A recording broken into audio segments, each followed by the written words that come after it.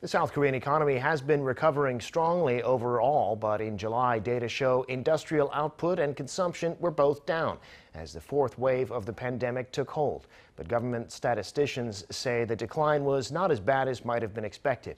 Eum Ji-young has more. South Korea's industrial output and consumption both dropped in July for the first time in two months. According to data released by Statistics Korea on Tuesday, the nation's overall industrial production index stood at 112.1 last month, down 0.5% compared to June. It's a reversal from June's 1.6% growth. The overall drop in production was led by fall in the output of face-to-face services, including restaurants and accommodation, which fell by around 5%, and sports and leisure activities, which dropped by 5.5%.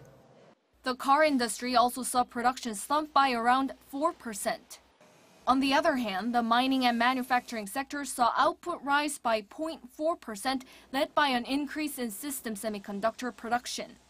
The service sector also edged up 0.2%, mainly driven by the wholesale and retail sector and the IT sector. Despite the growing uncertainties amid the fourth wave of the pandemic, mining, manufacturing and service industries have shown an increase in output and retail sales have fallen by a relatively small amount.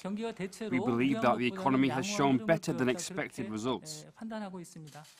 Consumption in July also fell by about 0.6% amid the social distancing measures, with clothing and cars seeing large drops. Spending by the public administration sector decreased by 8.3% on month, which was the largest decrease in about eight years.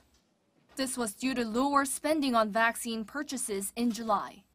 Finance Minister Hong Nam-ki said on his social media that while the impact of the fourth wave was inevitable, the decrease has been smaller than previous waves of the pandemic. Eum Ji-young, Arirang News.